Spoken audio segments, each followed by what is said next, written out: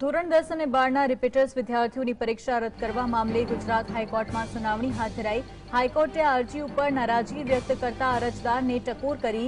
અરજદારે માંગણી કરી હતી કે રેગ્યુલર વિદ્યાર્થીઓની જેમ રિપીટર્સ વિદ્યાર્થીઓને પણ માસ પ્રમોશન આપવામાં આવે. કોરોના કાળમાં વિદ્યાર્થીઓને પરીક્ષા આપવા બોલાવવા હિતાવહ નથી, જેની સામે હાઈકોર્ટે જણાવ્યું કે કોરોનાના કેસો ઘટી જવાથી જનજીવન સામાન્ય બન્યું છે. વળી તમામ કામગીરી ફિઝિકલ થઈ ચૂકી છે. તો પછી પરીક્ષા શા માટે ફિઝિકલ લેવામાં ન આવે? હાઈકોર્ટે વેધક ટકોર કરતા કહ્યું કે રિપીટર્સ વિદ્યાર્થીઓ ઘરે રહે અને પરીક્ષાની તૈયારીઓ કરે.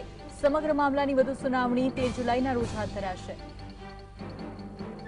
આજે નામદાર ગુજરાત હાઈકોર્ટમાં દસમા અને બારમાના રિપીટર વિદ્યાર્થીઓ માટેની જે પીએલ કરવામાં આવી હતી, તમે એવી રજૂઆત કરી છે કે અત્યારે પેન્ડેમિકમાં સમયમાં વિદ્યાર્થીઓને ફિઝિકલ એક્ઝામ માટે ફોર્સ ના કરવું જોઈએ અને સરકારે કોઈ ઓલ્ટરનેટિવ મેથડ મારફતે ઓબ્જેક્ટિવ કે ઓનલાઈન એક્ઝામનું પણ પ્રોવિઝન રાખવું જોઈએ?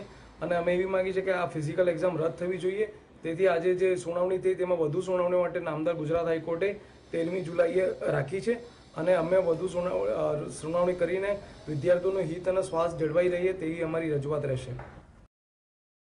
નામદાર ગુજરાત હાઈકોર્ટમાં દસ અને બાર ધોરણના રિપીટરની અમે ઓલ ગુજરાત વાલી મંડળ તરીકે પીઆઈએલ કરી હતી, જેમાં અમારા એડવોકેટ વિશાલ દવે સાહેબે જે રીતે આર્ગ્યુમેન્ટ કર્યું એ પ્રમાણે નામદાર હાઈકોર્ટનું કહેવું એવું હતું કે બાળકો અત્યારે રોડ ઉપર પણ ફરી રહ્યા છે અને લોકો બહાર નીકળી રહ્યા છે, તો એક્ઝામ બાળકોએ આપવી જોઈએ.